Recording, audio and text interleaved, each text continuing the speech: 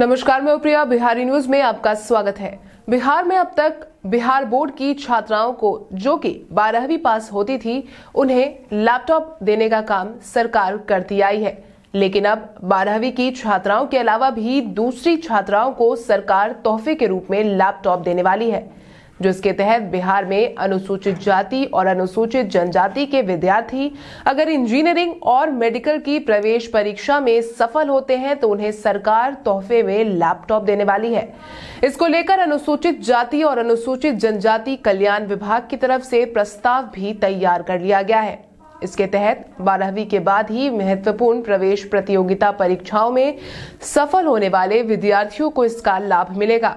राज्य मंत्री परिषद की सहमति के बाद इसको लागू करने का काम किया जाएगा। हालाँकि ध्यान देने वाली बात यह है कि प्रतिष्ठित प्रवेश प्रतियोगिता परीक्षाओं में हिस्सेदारी बिना या सीधे इंजीनियरिंग मेडिकल में नामांकन वाले विद्यार्थियों को सरकार की इस योजना का फ़ायदा नहीं मिलेगा।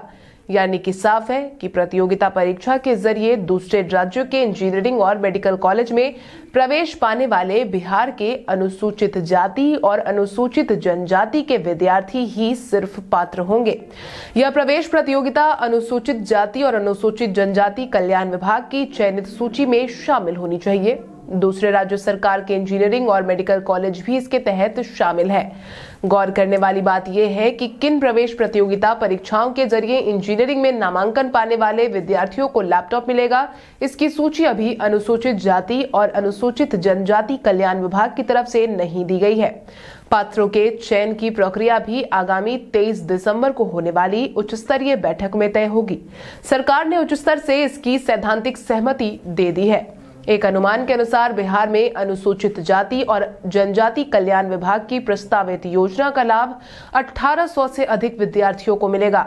बात बिहार के इंजीनियरिंग कॉलेज की करें तो इसमें कुल 9000 सीटें हैं। अनुसूचित जाति समुदाय के लिए इनमें से 16 फ़ीसदी आरक्षित है। ऐसे देखें तो इस तरह कुल 1440 सीटें अनुसूचित जाति के लिए आरक्षित है। वहीं अनुसूचित जनजाति के लिए एक फ़ीसदी आरक्षित सीट के हिसाब से यह संख्या नब्बे है। इसी तरह मेडिकल कॉलेज में लगभग चौदह सीटें हैं। इनमें अनुसूचित जाति के लगभग 224 सीट आरक्षित है। अनुसूचित जनजाति के लिए 14 सीटें रिज़र्व है। इसके अलावा अनारक्षित सीटों पर भी मेधा के आधार पर दोनों समुदाय के विद्यार्थियों का नामांकन होता है। दूसरे राज्यों में प्रवेश परीक्षाओं के ज़रिए भी ये विद्यार्थी नामांकन पाते हैं। जिसके बाद ही अब इन छात्रों को प्रोत्साहित करने के लिए सरकार ने यह नई योजना बनाई है, जिसके तहत बिहार में अनुसूचित जाति और अनुसूचित जनजाति के विद्यार्थी अगर इंजीनियरिंग और मेडिकल की प्रवेश परीक्षा में सफल होते हैं तो उन्हें सरकार तोहफे में लैपटॉप देने जा रही है। इसके साथ ही आज के इस वीडियो में बस इतना ही। तब तक के लिए धन्यवाद।